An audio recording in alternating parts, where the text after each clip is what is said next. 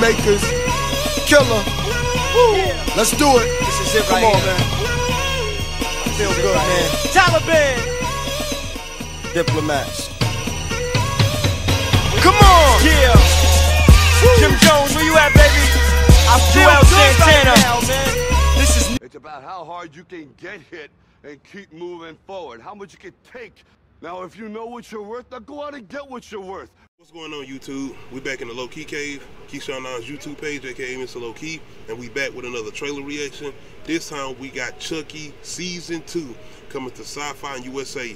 I was very, very so much surprised of what they was able to accomplish with that first season of Chucky. I haven't been really the fan of the latest Chucky movies. It's the one where he and the, the cult, the other one, and even that reboot that they tried to do.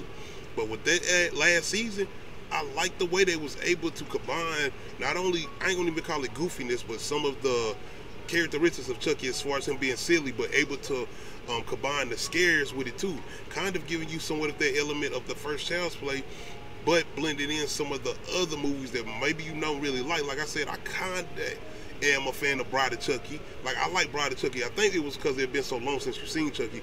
But even later on, I still kind of enjoy that movie for what it is. It's a very much a guilty pleasure, I would say. But like I said, with this first season of Chucky, I was very much surprised at how much they kind of was going. I'm not gonna say over the edge because Chucky is Chucky, but I'm saying as far as the way they was able to imply the scares in there, as far as a lot of like those other Chucky movies would like get they weren't scary. You know what I'm saying? As far as the later part of those movies, I would say after two, it kind of went downhill and really got goofy and started just going straight comedic level. Even with that first season, it's some comedic moments in there, even with Chucky, but it's also some scare factors in there too. But anyway, I hope they're able to pull somewhat of that off with this second season. I am looking forward to it to see what they're able to do. Let's go ahead and jump into this Chucky season two trailer. Let's go. What ever happened to Chucky?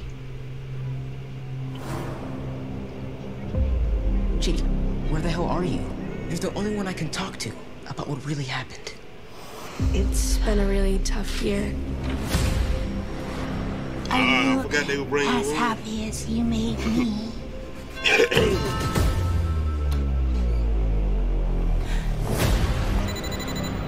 Who is this? And why the hell are you calling?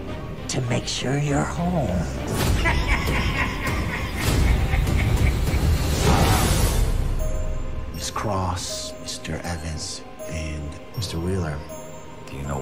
Here?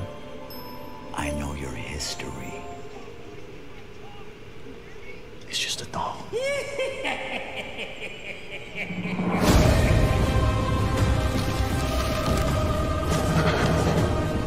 When do we get to start stabbing people? I feel like we're gonna have a whole bunch of them. No matter what, he's gonna come for us again. That's gonna be interesting. Oh, I hate that doll. I need Tiffany to get what's coming to her. Glenn, Glinda, come to Mama. Let go. Dear sweet godmother of Hail Mary, Jesus. This is for Kyle! No, no, no. Hi, I'm Chucky. Wanna pray?